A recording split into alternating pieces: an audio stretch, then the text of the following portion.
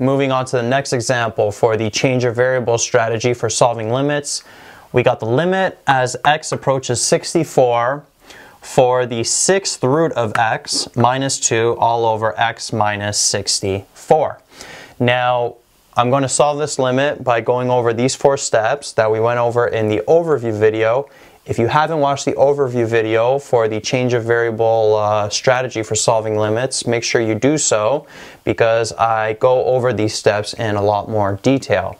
So I'd highly recommend you watch that before getting into this example.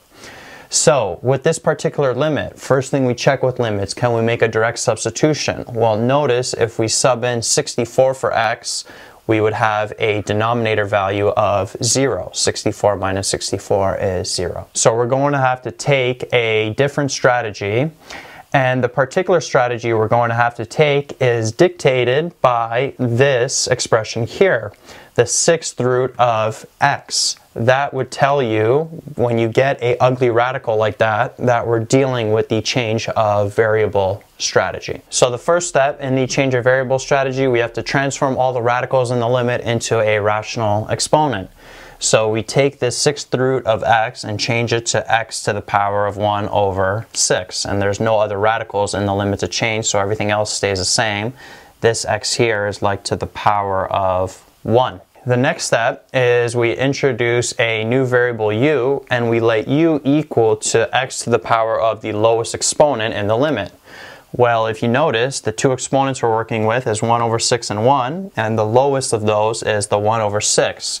So we let u equal to x to the power of 1 over 6. And then moving on to the third step, we have to change all the old variables x in the limit into the new variable u. Well, so far, we have an expression for x to the power of 1 over 6, which is just this u here that we introduce. So now let's deal with this x to the power of 1. How can we create an expression for that? Well, let's take this expression that we originally introduced, so u equals x to the power of 1 over 6, how can we change this x to the power of 1 over 6 to equal x to the power of 1? Well, we can take it to the power of 6. And what we do to one side, we have to do to the other. So we take the left side to the power of 6 as well. So we'd have u to the power of 6 equals 1 over 6 times 6 is just 6 over 6, which is 1. So this ends up being, the right side ends up being x to the power of 1. So now we have an expression for that x to the power of 1. And what's remaining is to get an expression for this here as x approaches 64. So as x approaches 64, we have to get an equivalent expression as u approaches a certain value. And to get that value, we can use this expression here. So u equals x to the power of 1 over 6. So if x is equal to 64, then u is just going to be 64 to the power of 1 over 6. And the sixth root of 64, 64 to the power of 1 over 6 is just 2. So as x approaches 64, that's equivalent to u approaching 2. And now notice with that how we have an expression for all the x variables in the original limit in terms of u. This expression as x goes to 64 is equivalent to u approaching 2. X to the power of 1 is equivalent to u to the power of 6. And then x to the power of 1 over 6 is equivalent to u. So the new limit we get is the limit as u approaches 2 of u minus 2 all over u to the power 6 minus 64. And notice how we have a new limit here, all in terms of the new variable u. We change the variable from x to u. And this limit is a lot nicer to work with than this one. We have no more rational exponents left. So then solving this new limit, let's try to make a direct substitution. Well, if we sub in 2 for u, notice how we'll get a denominator of 0. 2 to the power 6 is 64. 64 minus 64 is 0. So we can't do that. But notice how we're probably going to be able to do some kind of factoring, but it's going to be a little unique because we got this u to the power of 6 minus 64.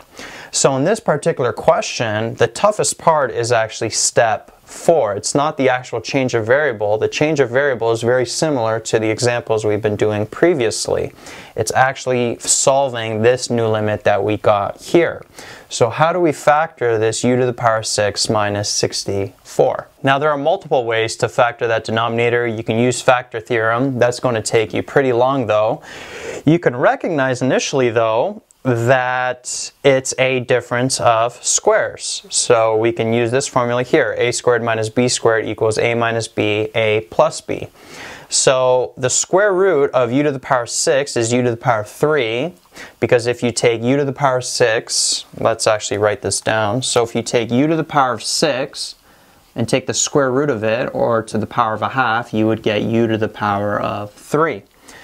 So that represents your a value here, u to the power of 3, and then the square root of 64 is 8. So this difference of squares, this u to the power of 6 minus 64 equals u to the power of 3 minus 8 times u to the power of 3 plus 8. So now we got two brackets to work with in the denominator.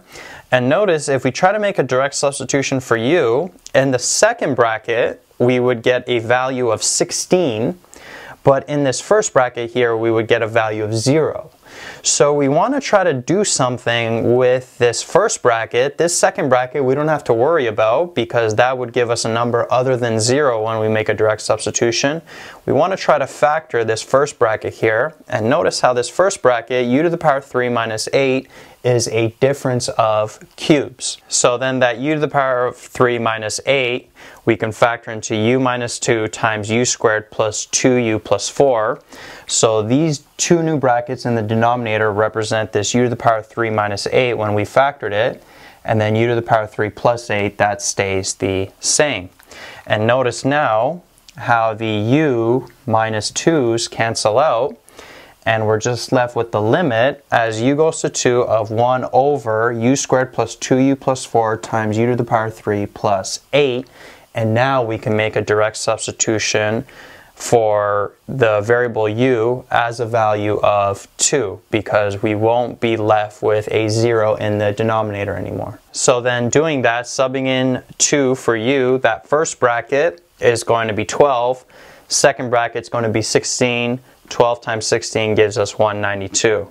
So our final answer is 1 over 192 for this original limit that we got. So as I mentioned, steps one to three, pretty smooth, very similar to the previous examples that we've been doing. The toughest part in this particular question was solving that new limit that we got because we had to do two types of factoring. First, we did a difference of squares on this u to the power 6 minus 64. So when we do a difference of squares on that, it's u to the power 3 minus 8 times u to the power 3 plus 8. And then we did a difference of cubes on this u to the power 3 minus 8. And then the u minus 2's cancel out, and we were able to directly substitute 2 for u.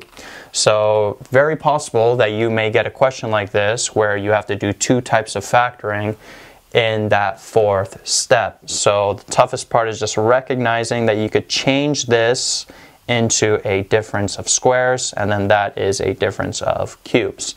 Now, this u to the power 3 plus 8, we could have also factored that as a sum of cubes.